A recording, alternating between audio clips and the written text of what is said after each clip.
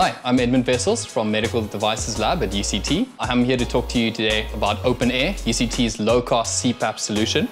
Pretty much we identified this given the current global pandemic happening with COVID-19, there being a big need for non-invasive ventilator solutions around the country. The idea behind the design was to come up with a low-cost, simple solution for the impact that COVID-19 had on patients. It started out being a more complex solution in terms of mechanical ventilation. This was before the National Ventilator Project, before the call for ventilators in South Africa, but we modified the design to come up with a simple low-cost solution. It uses off-the-shelf components. We are targeting home use of the device as well as potential hospital use.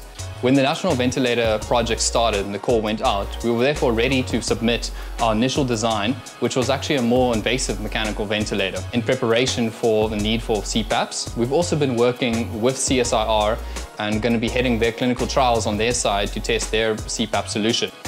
Open Air, however, is an incredibly useful, low-cost solution. It works with existing oxygen from the wall supply and a diaphragm pump. And we're currently looking to expanding this into a more home-based solution for anyone who can actually isolate themselves at home and still needs a ventilator solution.